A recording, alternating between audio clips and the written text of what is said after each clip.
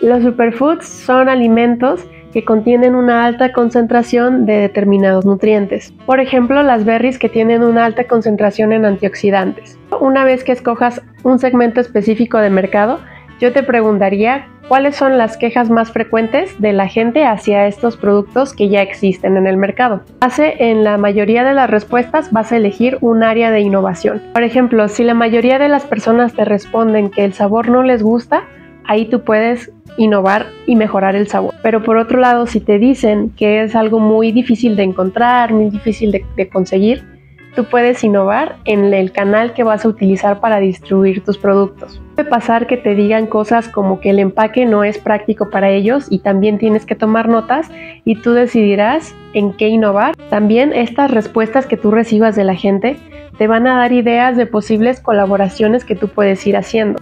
También otro punto importante de innovación es cuál es la relación que quieres llevar con tu segmento de mercado, con, esas personas a las que quieres servir mediante tu producto que son estos superfoods.